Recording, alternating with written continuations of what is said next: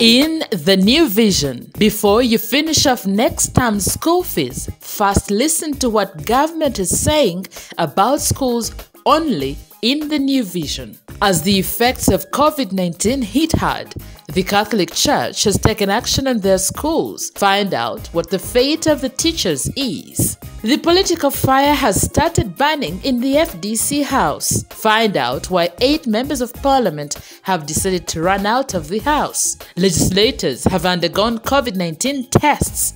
Do you know why it was necessary? From clashing with the army, the former rebel leader has clashed with the judge. Get the details of Jamil Mukulu's day in court. Coffee farmers have reason to smile after Uganda coffee has overtaken India from Italian market.